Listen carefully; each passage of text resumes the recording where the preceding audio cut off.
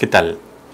El presidente Kuczynski sabe que literalmente se está jugando la vida y por eso esta mañana sacó toda la garra que le queda para defender su mandato y reafirmar que no renunciará. En tono enérgico pidió al Congreso que lo deje trabajar y hasta habló de traidores, aunque sin dar nombres. Algunos creen que se refería a Martín Vizcarra. Estamos poniendo en ridículo al Perú, acotó, al recordar que quieren votarlo después de la cumbre de las Américas para no aparecer mal. El momento dramático de su alocución fue cuando evocó a los cielos.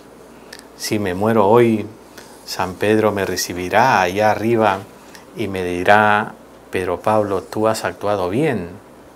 Casi en pared, en la conferencia episcopal peruana, el nuevo presidente de la institución, Monseñor Miguel Cabrejos, sentenció que hay que tener autoridad moral para pedir la vacancia del mandatario. Toma mientras, el puñetazo retumbó en el Parlamento y por si fuera poco, el también flamante secretario general de la Conferencia Episcopal Peruana, Monseñor Norberto Stroman, lanzó otro bazucazo.